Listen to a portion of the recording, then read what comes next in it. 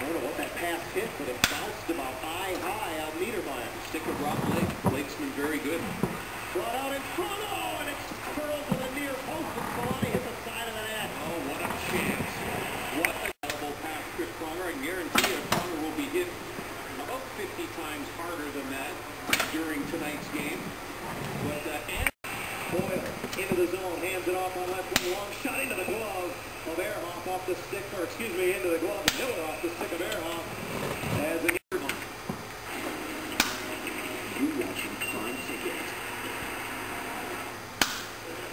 And we're back in San Jose. Scoreless tie between